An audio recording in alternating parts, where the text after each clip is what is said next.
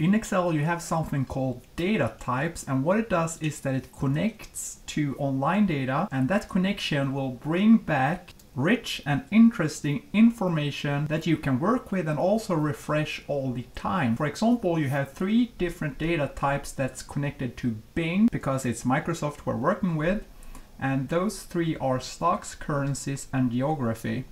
For example, stocks you can get instant information about stocks, equity, mutual funds, ETFs, and so on. All you need is the stock name. It can be the full name, for example, Microsoft, or the shorter version, MSFT. The same goes for currencies. If you want to know the exchange rate between US dollar and euro, you can get insights about that in seconds. And here the currencies are separated either by a slash or a colon. And the third data type is geography.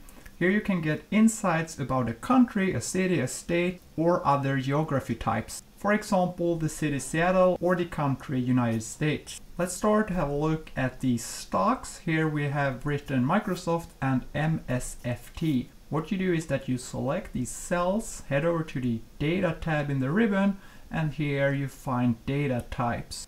Now we press on stocks and these will be converted into the right Microsoft stock. If you press here on this bottom to the left, you can show the card and have a quick look that it made the right conversion to the right stock.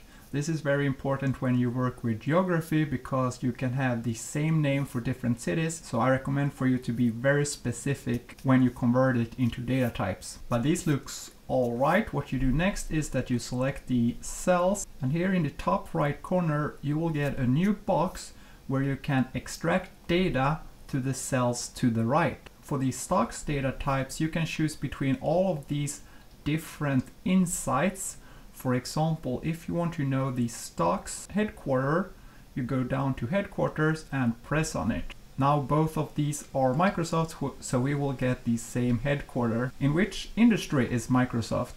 Let's have a look. We go down to industry, so it's in software and IT. What's their market cap? Here we go down, scroll down to market cap, and that's a lot, and their PE will be 34. So here you can see that you will get rich information about the stock in just seconds and you can refresh this whenever you want to and then get new fresh information. Let's head over to currencies. Here we have USD to Euro and, and Indian Rupee to Australian Dollar.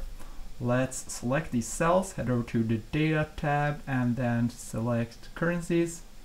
We can just have a quick look. So it's US dollar to Euro and it's Indian rupee to Australian dollar. Let's select them both again, head over to this insert data box and here we can see what we can choose for our currencies data types. And for example we can choose the last trade time. We can choose the last year's highest value and the price which means the latest price. That's currencies. Let's head over to geography we have Seattle and United States. We do the same as before. We go to the data tab, geography. These are Seattle and United States. Let's have a look on what insights you can get from the geography data types. So this is perhaps the most useful one for me at least. And we can, for example, see the area. We can see the population if we scroll down. Here we have population and also we have a description. If that's the correct description, I leave that for you to decide.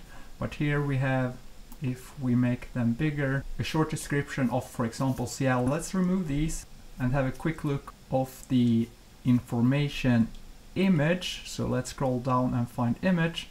You'll see the image of Seattle. I don't know which image that is, but here we have United States flag. And soon you will be able to transfer these flags to a pivot table as well. That's in the beta channel right now, but soon you'll have it too. And that is data types to connect to Bing and get fresh, rich information in just seconds.